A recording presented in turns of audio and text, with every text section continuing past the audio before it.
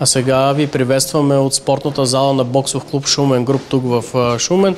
Не случайно сме тук в залата на боксерите, за да ви срещнем с успешни състезателки. Пълен комплект медали от последното първенство завоюваха те, но сега ще ви срещнем с тях и ще ви ги представим. Първо ви оставяме с малко атмосфера от една от тренировките на момчетата и момичетата на спортен клуб Шумен Груп които са в занимание. Няма да нарушаваме тренировъчния процес, но пък за сметка на това ще имаме удоволствието да си поговорим с призорките, разбира се, и с техните треньори. Но златен медал, разбира се, много голямо постижение за Даная Василева. Ще започнем нашето интервю с нея. Здравей, Даная! Здравейте! Благодарим, че така ни посрещате тук във вашата зала, във вашия клуб. Ти си златен медалист. Моля те, разкажи ни за състезанието, как се стигна този златен медал. Доволна ли си, предполагам? Няма как след такъв голям успех, нали? Да. Ми, състезанието, както винаги, се започва с подготовка. Няма как. Ам, всичко мина както нормалното, както се Какъв очаква. беше турнир? Какво беше състезанието? Кажи на нашите зрители. Ми, на, да, национал... Държавен държавен, да. А, от кога се занимаваш с бокс? От една година. За една година и вече златен медалист. Очакваше ли толкова бързо да постигнеш успех? Изненада, на- изненада ли бе и за теб това? ми беше, обаче като се качеше, по принцип повечето ми нали, съперници винаги са се качвали с страх, обаче аз на това състезание си казах на първата ми съперничка, няма, ще я бия.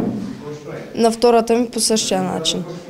И Просто беше амбицирана, не се Да. притесняваше Да. спортен хъс. Да. Защо избра бокса? Защото бокса ми харесва и ма накара да вляза в тази зала. И да си кажа, че ще успея тук.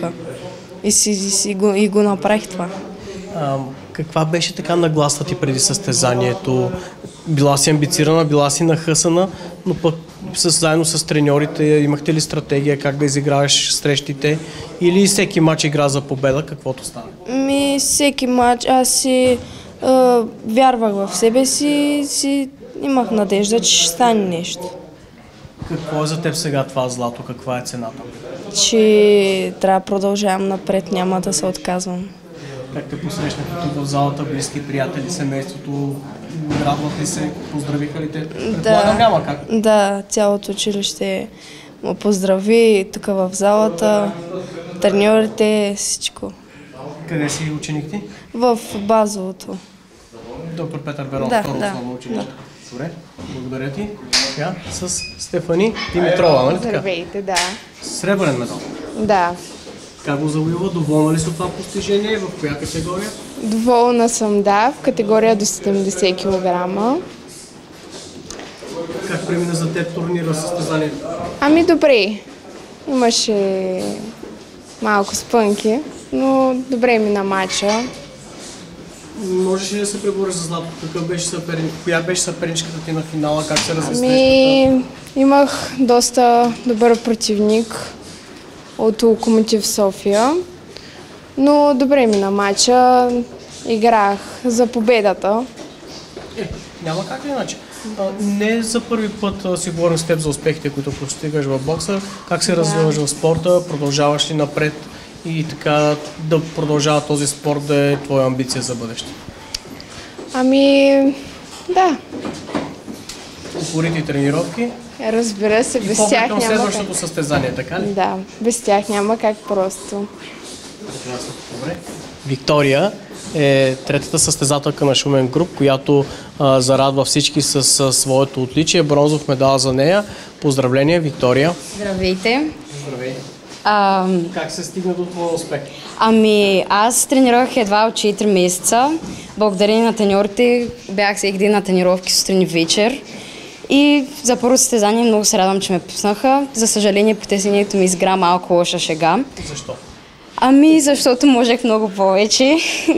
Първия рунд за малко да го взема, но за съжаление я оставих. И но за другото състезание вече съм по-подготвена. А, това е дебютно състезание за теб, след като от няколко месеца само тренираш, нали така? Да. А, добре, притеснение е вероятно, но как така да се реши да само след няколко месеца тренировка на такъв форум да се представиш и защо избра и ти бокса? Ами като цяло аз бокса се го исках много време. Като цяло той ми дава енергия. Като цяло един вид ми е в сърцето този спорт. И още като влязах в залата, си казах, че се състезавам. Сега като усети атмосферата по време на състезание, като видя изобщо и организацията и конкуренцията, предполагам си още по-мотивирана и нахъсана. Как видя ти това състезание, точно като това, което казвам, организация, процес, процес на протичане? Интересно ли ти? Ами беше ми интересно и като цяло си преодолях страха, защото наистина бях с много голямо притеснение, благодарение на треньорите, все казаха ми, че мога и аз излязах с нагласата, че мога и като цяло друго си беше, но да. И лека, и лека тренировка и до нови срещи. Да, оставаме ви сега с атмосфера от а, тренировъчния процес тук в залата на Шумен Груп. Още веднъж благодарим на нашите домакини. Ето и как продължава тренировката на клуба по бокс.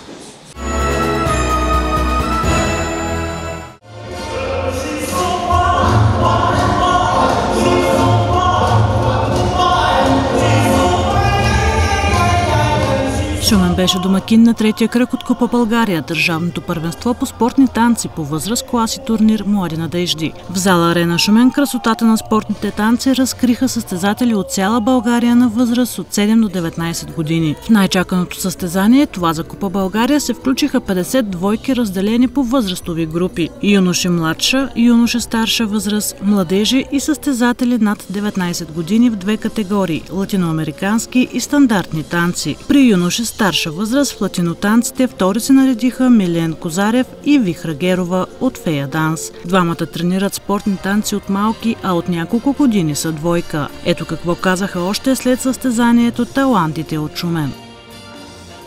В момента сме клас 15Б и понеже в нашия клас станахме първи на такова състезание, дето е държавно, по класове се води, съм минала, като станеш първи, съм минала следващия клас.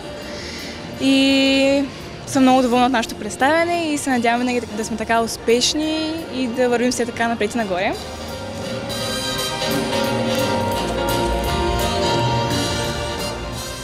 С надпреварите в зала Арена Шумен беше отбелязан и 20-я рожден ден на шуменския клуб Фея Данс, който беше домакин на състезанията с помощта на Българската федерация на клубовете по спортни танци, Община Шумен и спонсори. За началото и настоящето на Фея Данс и спортните танци в Шумен говориха Румена Андреева и Радослав Козарев.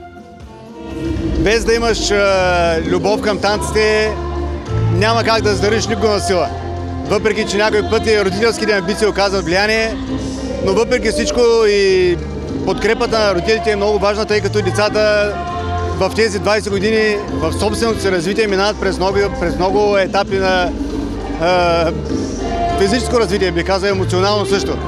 Но смея да твърдя, че танците като спорт и като красота успяват да изградят в тях едни навици, които за бъдеще в живота много им помагат. Да бъдат по-целенасочени, устремени и още повече, че този спорт е, този е спорт за интелигентни хора. Да пожелаем на децата, които се състезават от клуба, да продължат с още по-голям хъс, да се множат децата в школите, защото беше трудно последните години и да имат една прекрасна база да тренират, както са имали до сега.